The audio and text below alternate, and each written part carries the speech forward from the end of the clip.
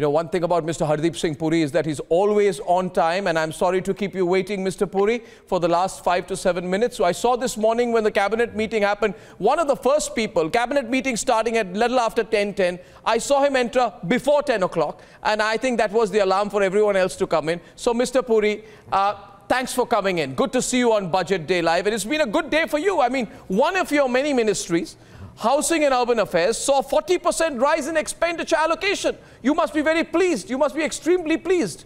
What, what's the reason behind this increase in allocation? Uh, well, first of all, uh, uh, Arnab, thank you for having me on your show. As usual, you are being kind, uh, saying nice things. Insofar as my ministry is concerned, I can tell you that we had very ambitious targets right from the time of 2014. I mean, in the 10 years between 2004 and 14, we had a total expenditure on the urban rejuvenation during those 10 years of 1,57,000 crores. In the seven years of the Modi government, or rather the six years, because the programs really started in 2015, the expenditure had already gone up more than seven times. It was over 11 lakh 50,000 crores. In this budget, there are some very significant uh, uh, announcements. The one that you are referring to is that during the fiscal year 22-23, we will have 80 lakh additional houses, but both in the Grameen sector and in the urban sector to be uh, uh, uh made available to beneficiaries, out of which uh, the total amount uh, located is 48,000 crores, which I should point out for my urban ministry is 28,000 crores. So we are very happy with that. It will see the fulfillment of the Prime Minister's dream that by the year March 2022, every Indian, no matter where he or she lives, should have a pakka roof on his or her head. It should have a avas with a toilet, with a kitchen, with a gas cylinder and all modern amenities and the title of the home should be in the name of the lady of the house or co-jointly. Now we are almost completed that, some residual stuff left, and I think the announcement made today, but for the additional um, uh, uh, construction during 22-23 will complete that.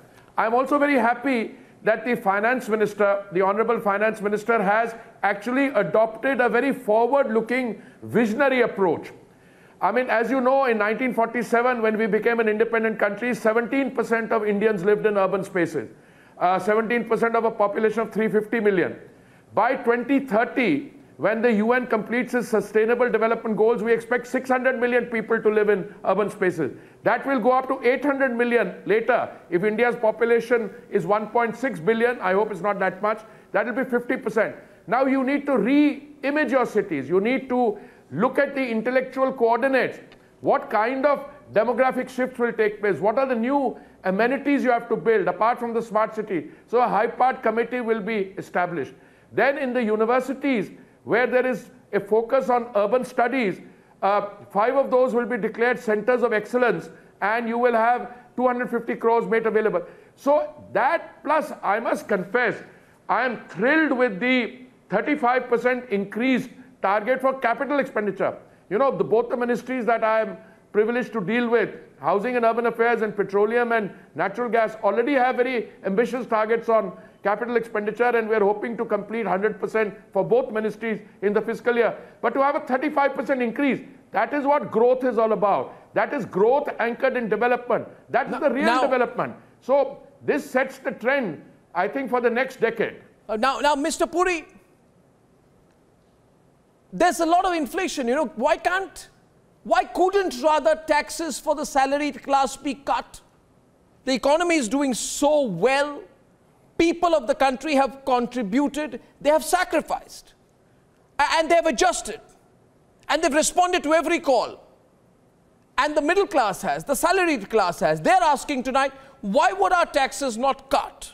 Why is it so status quo is? We're not MPs. Our salaries don't increase by 55% like it happened in 2018 for members of parliament. So given the inflation index, why, aren't, why weren't there any tax reliefs for the salaried class adjusted to, to, to cost for inflation?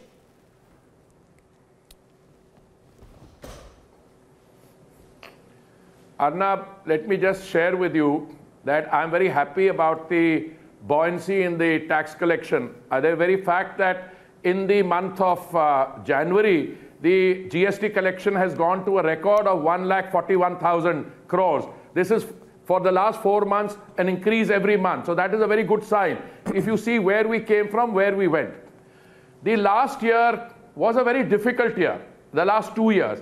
We had to provide three meals in a day to 80, excess of 80 crore of our brothers and sisters because of the pandemic. We had to make 172 crore vaccine doses available free to our citizens. Yes, taxes, it's the legitimate aspiration of a person of the middle class like myself, hoping that taxes will come down. But tax slabs had already come down. And I'm sure if we don't have these other expenditures to uh, cater to in the coming time, that is an issue that this finance minister would like to address. But let me say another thing. There are benefits going to the middle class, to the economically weaker section, to a lower income group in many other ways. I can count those out. You know, when, when the government reduces uh, uh, excise on petrol by 5 rupees and on diesel by 10 rupees, again, it's the same middle class consumer we have in mind. When we add to public transport, to the metro system, it's the same middle but class consumer. Felt. Equally, we have to provide food to people. It's not felt. It's it's a bit uh, you know obscure. You know, it's, it's not obvious. How you define the common man? I, am saying that you know they want uh, they want they, well, they want they, they, of, they wanted that special gesture. They haven't got that special gesture. Uh, let me let me Arnab, my sense is that before the last budget was presented uh, one year ago, you had a situation where the government had to present five mini budgets in order to deal with the stimulus and all the other issues. I'm very confident that if we can retain the same levels of revenue growth and if our other, you know, we have added in many ways, urea subsidy has gone up, agricultural credit has gone up. It's a question of dealing with different segments. I'm sure that the, the class you are referring to, you, you referred to an MP salary. With due respect and all humility, I can tell you the lowest salary I've ever earned in my life, and I have a long career of about 45 years in public life, is as a, is a member of parliament. But I agree with you. There are expectations, and as we grow, but the middle class, you know, the DNS allowance which is paid to government servants, that is one thing. Maybe, maybe in the times to come, the Honorable Finance Minister will address providing relief Two, on the tax front by reducing the slab. But we are already at a pretty reasonable level compared to other countries of okay. our size yeah. and level of development. Okay, one, one quick question before I let you go. Mr. Puri, the finance ministry has slashed the disinvestment target by 55%, even though Air India got cleared. Is this an admission that divestment will not bring in the required impetus to push the economy further? Simply put, is the slashing of the disinvestment target an admission of defeat, Mr. Puri? Not at all, Arnabji. It is a very positive message which is being sent.